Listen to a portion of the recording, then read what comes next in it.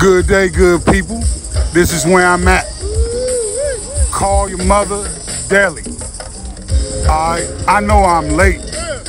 Everybody's done been here, but I'm at the 3301 Georgia Avenue, Northwest, Washington, D.C. location. All right, first up, I got the Sun City Bagel. This has eggs, pastrami, American and cheddar cheeses with spicy honey on an everything bagel. $10. All right, next up, I got a turkey BLT on an everything bagel. I like everything bagels.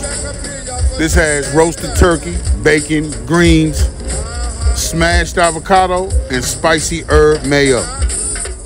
$11.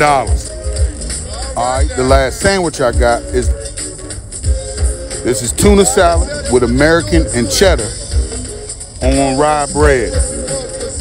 $11. All right, I also got three cookies at $3 each. This they snickerdoodles. We got the chocolate chip, sea salt on it. That's the bottom. And we got the black and white jump. That's the bottom.